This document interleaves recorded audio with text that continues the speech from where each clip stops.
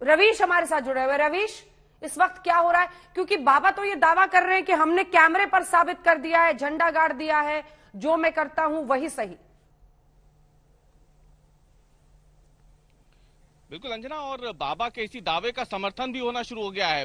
मध्य प्रदेश संत पुजारी संघ जो है वो सड़क सामने उतर गया है हम्म। बिल्कुल बाबा के समर्थन में। और इसे सिर्फ़ बागेश्वर धाम वाले पंडित धीरेन्द्र शास्त्री पर ही नहीं बल्कि सनातन धर्म पर हमला बताया है।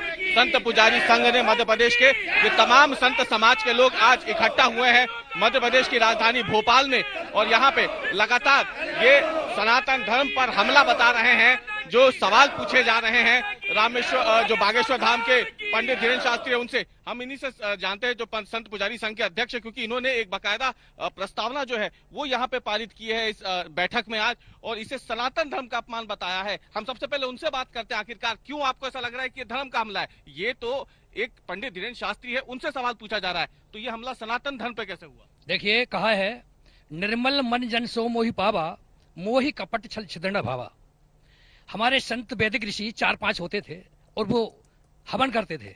और आश्रित प्रवृत्ति भीड़ होती थी। भगवान प्रभु राम हो या कृष्ण हो वो अकेले देखते थे रथ पर सुदर्शन चलाते हुए वो करोड़ों विध्वंसकारी ताकतों को भगवान थे ना। ये भगवान का ही तो वो प्रचार कर रहे हैं। धीरेन्द्र कृष्ण शास्त्री जी नहीं कहा कि मैं भगवान हूँ। ये समझना होगा वो हमारे भाई हैं जो विरोध कर रहे हैं उनको मैं भी भाई मानता हूँ। वो मेरा धर्म मुझे नहीं सिखाता मैं किसी से बेमरसता फैलाऊं। मेरा सोच यही है कि बगैर सत्य को समझे बगैर मतलब की बात करना कहाँ तक सही है? क्या सत्य है? क्या सत्य है भूत पिशाच निकट नहीं आवे महावीर जब नाम सुनावे। बागेश्वर धाम में हनुमान जी महाराज विराजमान है। धीरेन्द्र धीरेन्द्र कृष्ण शास्त्री ने यह नहीं कहा कि मैं हनुमान जी हूँ।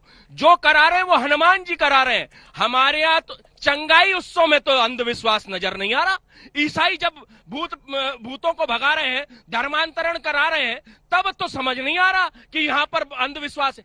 अंधविश्वास निर्मूलन समिति। हम तो भगवान को साल भी उड़ाते भगवान के मंदिरों में ऐसी भी लगाते आपने स्वयं ने कवरेज किया है। उनको जब हम प्राण प्रतिष्ठा करते जब प्राण डालते हैं तो भगवान को भोग भी चाहिए। भगवान को विश्राम भी चाहिए। भगवान को शयन भी चाहिए। भगवान को ठंड भी लगती है। तो ये अंधविश्वास नहीं है।